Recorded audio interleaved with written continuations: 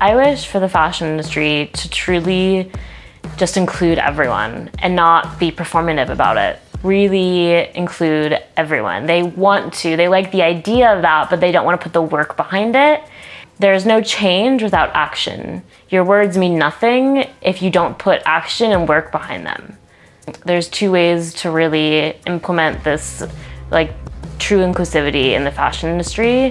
One, everyone in pre-production needs to be on the same page and really advocate for the talent no matter what.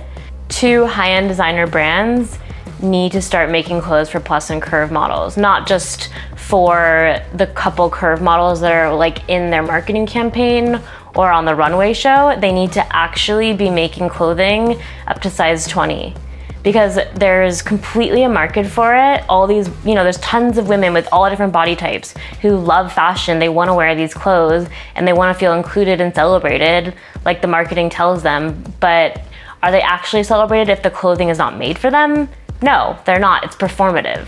If these brands would just get their shit together and actually put the work behind their words, I think the entire industry and society would really benefit from it because people love fashion. They love these big designer brands. They're obsessed with it.